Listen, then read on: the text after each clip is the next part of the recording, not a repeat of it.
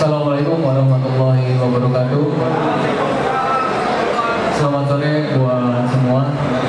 Uh, insya Allah uh, buat tim saya dan teman-teman uh, sudah siap menghadapi pertandingan musim baru uh, dengan semangat baru.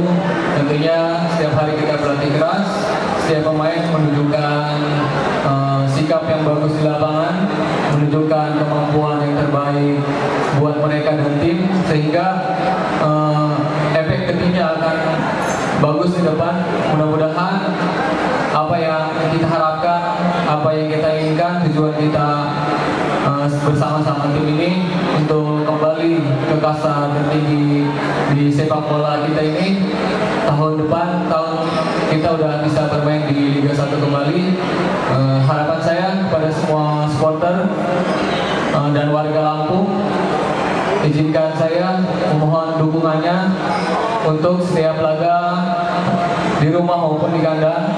Dan tak lupa saya juga meminta doa kepada seluruh warga Lampung.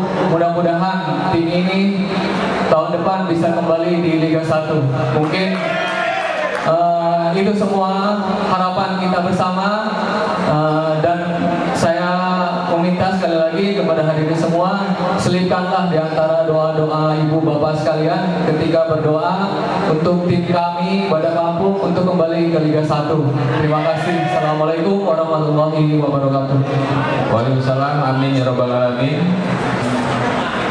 Seperti yang dibilang Rabat tadi kita menghadapi regulasi yang baru uh, mungkin lebih keras dari Liga 1 kita tahu Liga 1 keras tapi Liga 2 sekarang lebih keras lagi.